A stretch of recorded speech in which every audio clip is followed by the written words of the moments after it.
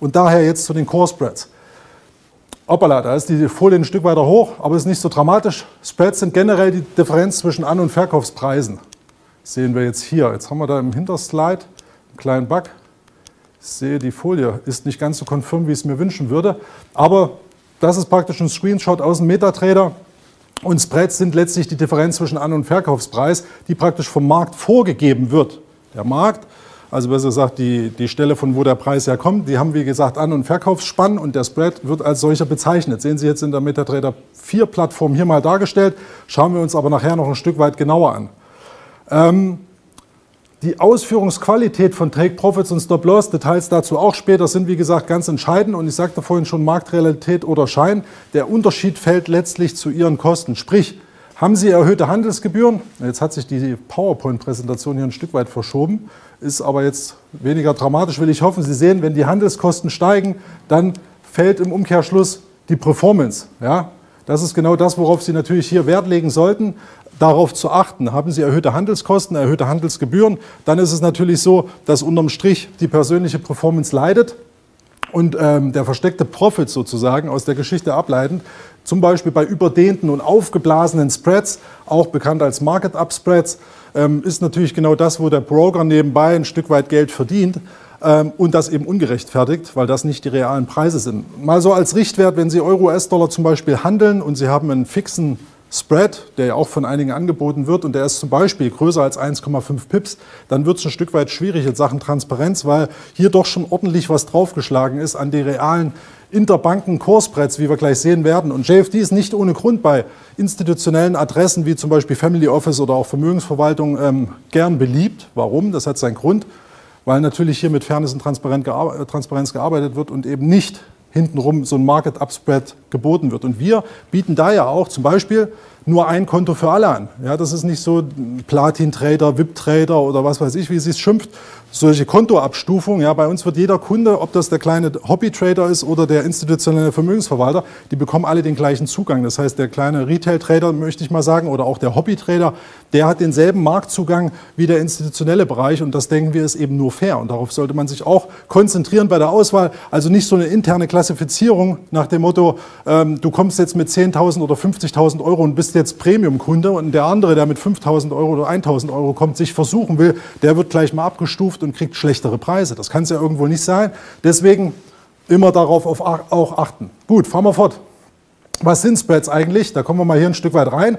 Hier auf unserer Startseite jfdbrokers.de sehen Sie direkt immer, das ist unser Begrüßungsfenster viele, viele Gimmicks, Aktionen. Wir sind auch im Dezember erst vier Jahre alt geworden. Da haben wir auch so ein kleines Prepaid-Programm, also so eine Art Handelsgebühr, die natürlich Einfluss auf Ihre Performance ausübt, äh, können Sie hier sozusagen vorab erwerben, um Ihre Performance zu steigern. Schauen Sie es einfach mal an, ganz spannend. Aber die Spreads, was sind die eigentlich? Da sehen Sie weiter unten auf der, auf der Website, das hole ich jetzt mal ins Bild, schwupp, das klappt prima, sehen Sie Live-Spreads, also pure Transparenz. Sie sehen hier, äh, die Top 10 der Währungspaare und da ist auch der Goldpreis noch dabei, XAU USD.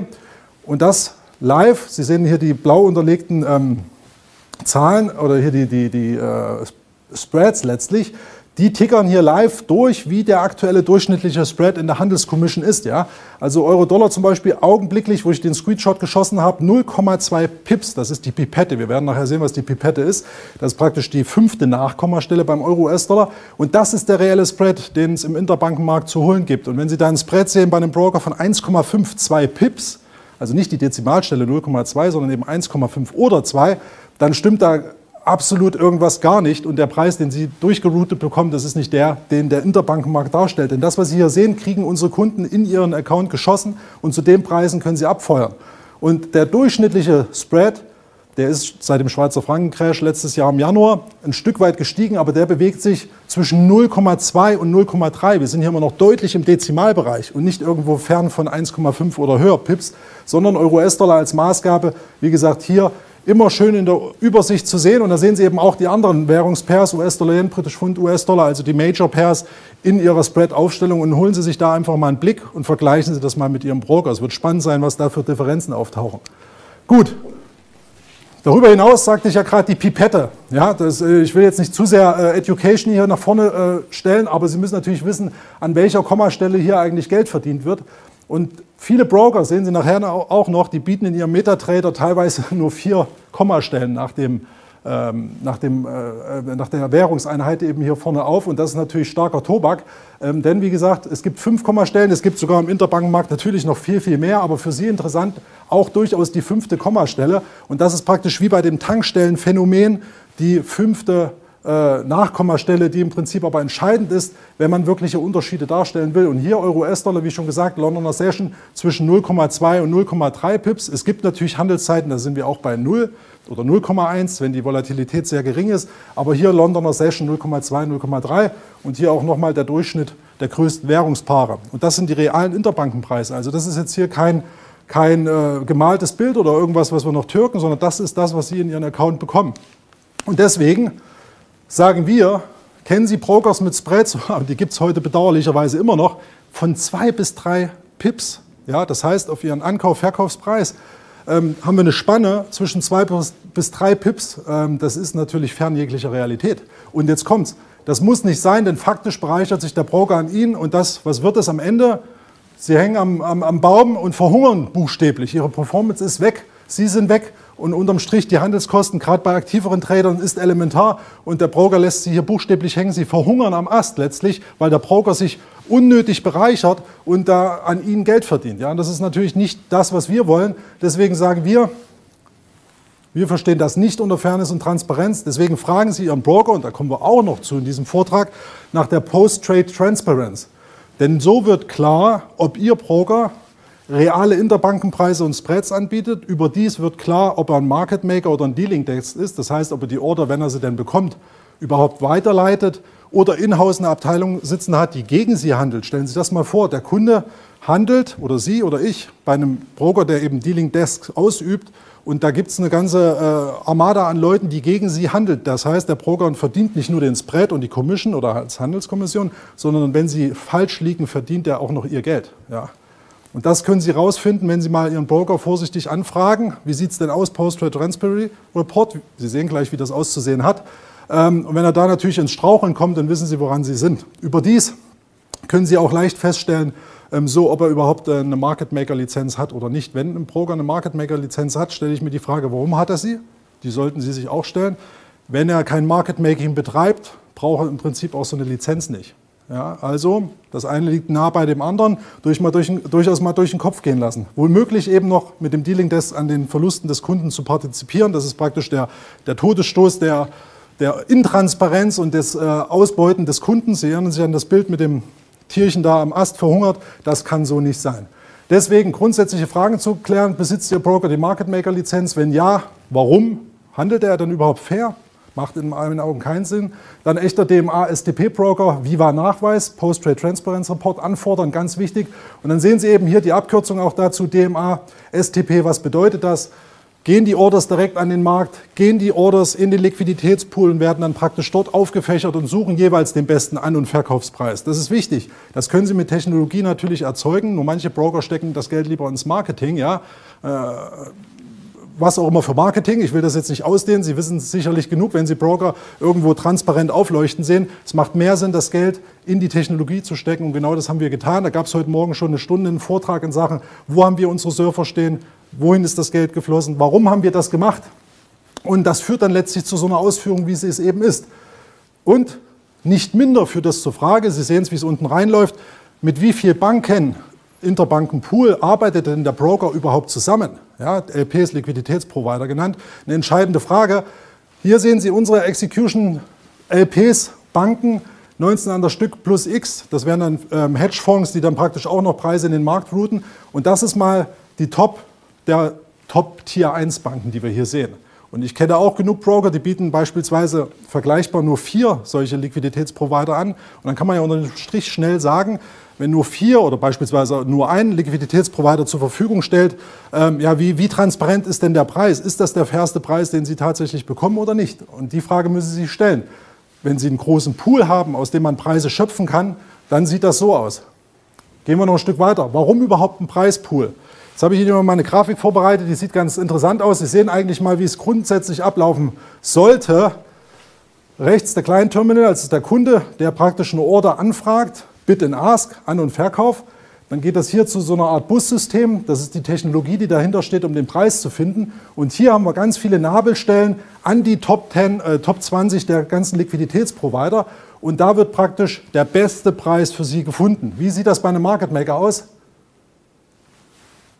Gehen in die Lehre. Ja, ich mache das nochmal zurück. So muss das aussehen. Und so sieht das bei einem Market Maker aus. Das heißt, hier fehlt erstmal völlig die beste Preisfindung.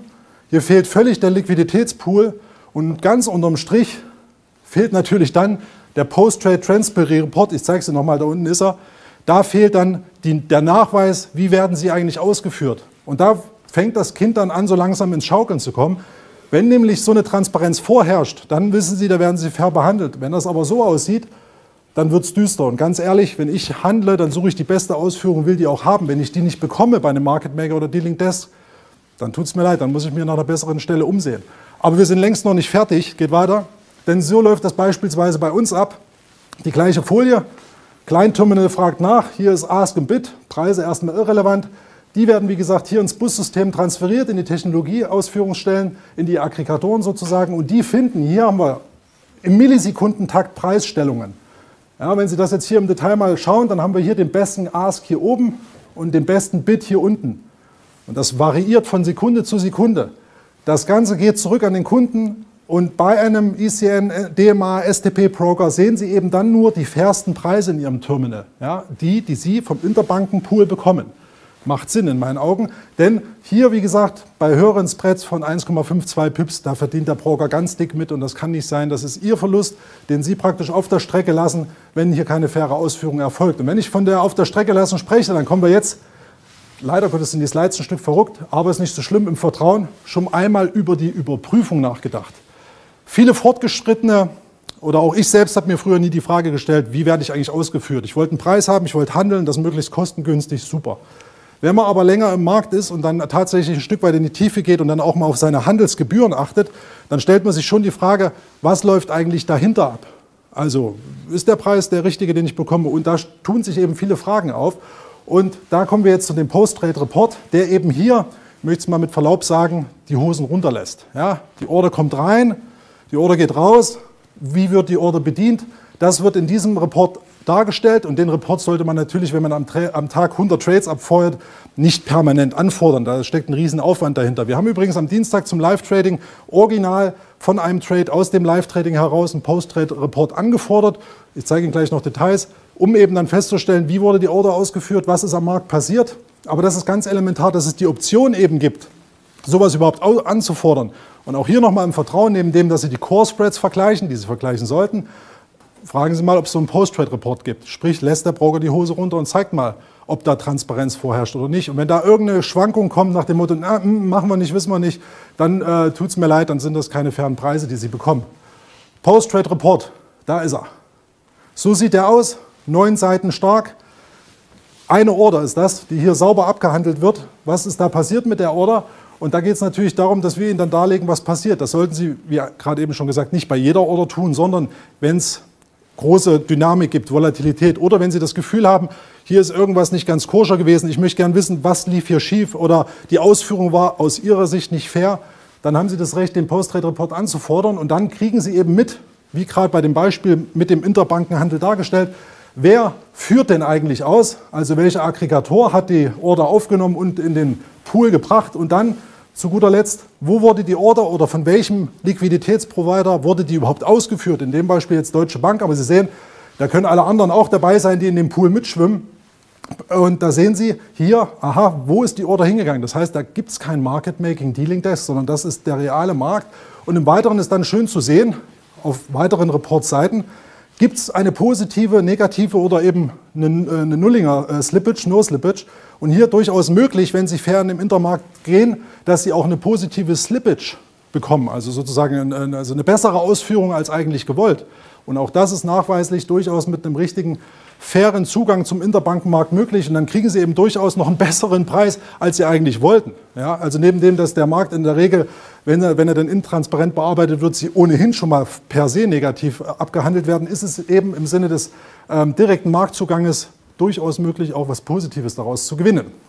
Und wir haben, ich habe es, glaube ich, jetzt hier nicht zu stehen, aber ich meine, 0,07 ähm, Pips sind in der Regel die positive Slippage, die wir in gewissen Handelszeiten immer wieder bekommen haben, in der Mehrzahl der Kunden. Warum? Weil wir natürlich sowas hier machen und nicht an den Preisen rumspielen. Ganz elementar.